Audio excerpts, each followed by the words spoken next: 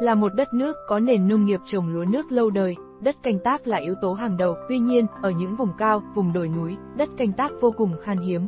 Do đó, người dân khắc phục sự khó khăn ấy bằng cách chọn các sườn đồi, núi có đất màu bậc tam cấp để tạo thành những vạt đất bằng. Dựa vào mục đích canh tác khác nhau mà có thể để khô hoặc dẫn nước từ trên núi về. Bên cạnh đó, chống sói mòn và bảo vệ đất chính là mục đích của biện pháp làm ruộng bậc thang. Tuy nhiên, ngày nay ruộng bậc thang không chỉ được gìn giữ và phát triển chỉ để lấy năng suất hay sản lượng, mà nó đã trở thành một nền văn hóa, một đặc trưng, một niềm tự hào đối với cư dân miền núi. Tây Bắc đã và đang trở thành một trong những cảnh quan, một sản phẩm du lịch đáng chờ đợi mỗi khi mùa thu về với những mảng màu đa sắc là sự pha trộn hoàn hảo đến từ bàn tay của mẹ thiên nhiên kết hợp cùng bức tranh thổ cầm khổng lồ của những thửa ruộng bậc thang. Trong mùa lúa chín, ruộng bậc thang trải rộng một màu vàng đầy thơ mộng. Khi ấy, một vùng lúa nương đã chín vàng rực, những hạt thóc mấy chắc vàng giòn, những lá lúa vàng ươm, dậy mùi thơm đặc trưng, đợi ngày thu hoạch. Những ngọn núi đồi kề nhau, bừng lên một màu vàng chủ phú. Đặc biệt, những giải ruộng uốn lượn, theo triền núi như những đợt sóng nhấp nhô, tràn trề, lớp nọ nối tiếp lớp kia trải dài bất tận.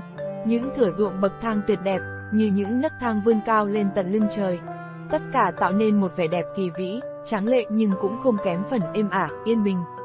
Vào khoảng thời gian từ tháng 5 đến tháng 6 là mùa nước đổ ở vùng Tây Bắc, người dân tận dụng những cơn mưa rào đầu tiên của mùa hạ và nắng chưa kịp gay gắt để dẫn nguồn nước từ trên núi vào các ruộng bậc thang. Mùa này, những thửa ruộng bậc thang như khoác lên mình chiếc áo mới, lấp lánh trong sắc màu tuyệt đẹp. Màu của đất nâu, của trời xanh, của nước óng ánh dưới ánh nắng mặt trời rực rỡ. Từ khi bình minh vừa lên, sương sớm còn bảng lảng giữa không trung, đến khi những ánh nắng đầu tiên trải vàng trên những nấc thang bước lên trời, hay tới lúc xế chiều, mùi lúa chín thơm quyện với mùi khói bếp, tỏa ra từ nóc nhà của bà con dân tộc, ẩn hiện trong không gian bao la. Mỗi thời khắc, Tây Bắc lại có một nét đẹp riêng, khiến cho những ai đến đây đều không muốn dứt bước đi. Đứng trên đỉnh núi, đảo mắt nhìn xung quanh mới thấy, đâu đâu cũng có lúa, lúa trải dưới thung lũng, lúa men trên sườn núi, hết đỉnh này kế tiếp đỉnh kia, tầng tầng lớp lớp, ruộng một màu vàng. Tháng 8 và 9 là thời điểm tuyệt vời nhất để du khách ghé thăm và chiêm ngưỡng sự tuyệt diệu của ruộng bậc thang Tây Bắc. Có rất nhiều cánh đồng lúa mà bạn có thể dễ dàng nhìn thấy trên đường. Những địa điểm nổi tiếng với mùa lúa chín vàng có thể kể đến như Bắc Sơn Lạng Sơn, Ngù Cang Trải Yên Bái, Y Tý Lào Cai hay Hoàng Su phi Hà Giang. Tuy nhiên có một địa điểm khác nữa, với cái tên lạ hơn nhưng được nhiều người đánh giá, là nơi có cảnh lúa chín vàng ấn tượng và đẹp nhất Tây Bắc, cũng như vùng núi phía Bắc. Đó là ruộng bậc thang ở xã Nậm Cang, Sapa, Lào Cai.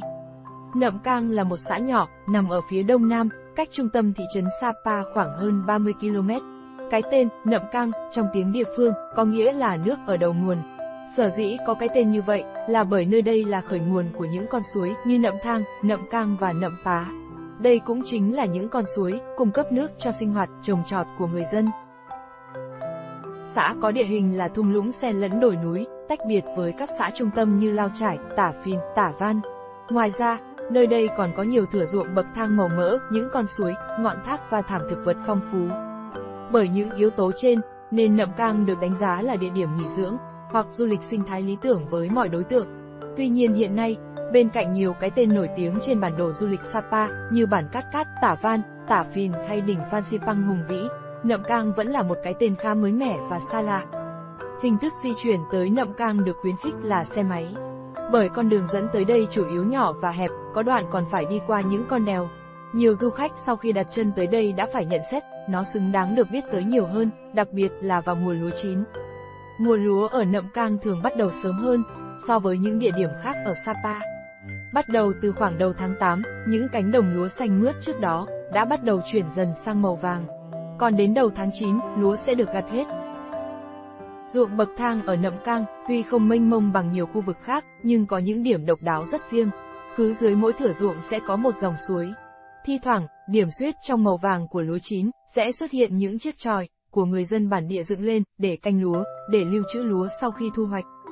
Đây cũng chính là nơi ra đời của rất nhiều bức ảnh sống ảo mãn nhãn của du khách khi tới săn mùa vàng ở Nậm Cang. Ruộng bậc thang ở Nậm Cang đặc trưng với các lán nghỉ, canh lúa của người dân bản địa. Thời điểm hiện tại đang là thời điểm thích hợp và lý tưởng nhất để tới Nậm Cang ngắm lúa chín. Nhiệt độ dao động trong khoảng 20 đến 25 độ C, thuận tiện để du khách đến trải nghiệm. Với những du khách muốn ở lại qua đêm ở Nậm Cang, hãy tìm hiểu thông tin và đặt phòng trước càng sớm càng tốt. Bởi là một địa điểm chưa thực sự được nhiều du khách biết đến, nên ở Nậm Cang vẫn còn ít các cơ sở lưu trú. Và đừng quên thưởng thức những món ngon của núi rừng Tây Bắc như thắng cố, xôi ngũ sắc, lẩu cá hồi, hay những món ăn dân dã trong mâm cơm của người bản địa nơi đây. Tôi là Trang Trần, đến từ kênh truyền thông X51. Cảm ơn các bạn đã cùng tôi dạo một vòng quanh Tây Bắc.